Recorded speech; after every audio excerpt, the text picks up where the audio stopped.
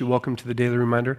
Why don't you hang here with us for just a few moments? Uh, whether you're starting your day or calling it a night or somewhere in between, this gives us an opportunity to share a thought, a verse, hopefully something that's going to encourage you um, just as you continue in your walk with the Lord Jesus Christ.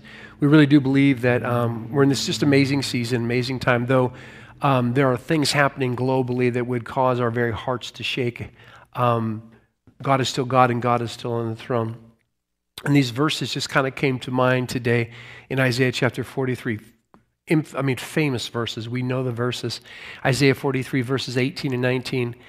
And this is, this is what the Lord says through the prophet. Remember not the former things, neither consider the things of old. He says, Behold, I do a new thing. Now it shall spring forth, and shall you not know it? I will even make a way in the wilderness and rivers in the desert. One of the things that we've been saying this last few days is if God is bringing us out of something, it is to bring us into something new. If God is bringing us out of something, and again, that could be uh, the past, that could be the way that the church has always done it, that could be job, relationship, you know, we've mentioned, you know, flirting with sin, whatever the case may be, a way of thinking.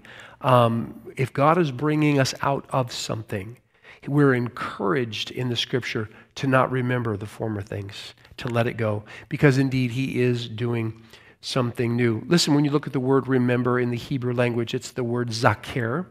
It is Z A K A R, but it means to remember, uh, to recall, it means to record. But I want to say this to you, just in, in, in, as, in regards to this short time we have together.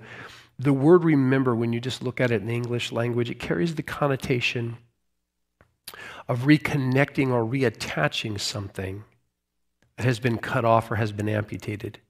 To remember something carries the connotation of reconnecting or reattaching to something that had reconnecting or reattaching something that has been cut off or has been amputated. If, if you're walking along and you reach out and you see a good friend and you just reach out and pull off his, his right arm well, you've, you've dismembered him.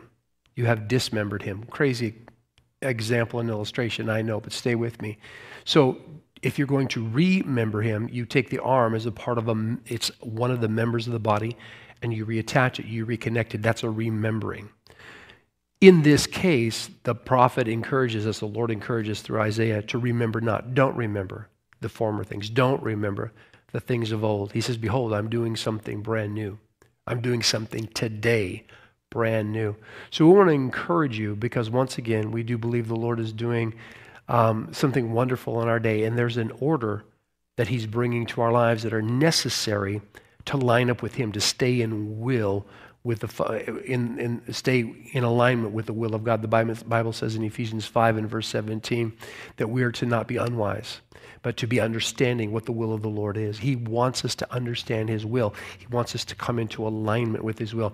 And if there are things in my past that are going to hinder me, my thinking, uh, relationships, the way we used to do things, if there are things in our past that hinder us from coming into alignment to understand His will, he is encouraging us today don't remember the former things, don't consider the things of old.